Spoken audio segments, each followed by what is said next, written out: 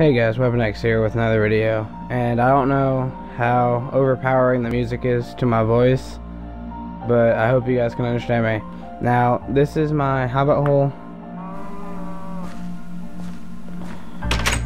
Uh, first we got the rug, there's a coat hanger right there. Uh, we have a nice dome shape for a roof, and we have a nice chandelier. I'm proud of this part mainly because I didn't watch any videos on how to make it. I just did it all from uh, scratch. And that is a room that I've not broken out yet into a room like this. This is the reading room.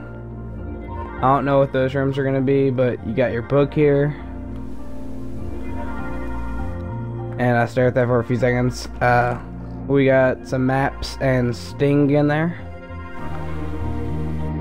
from Lord of the Rings. Uh, there's a random map on the wall. And I'm guessing that's it. Um, I'll see you guys next time. If you guys want to know how to make this, just leave it in the comments, and if I get enough, I will make it on tape.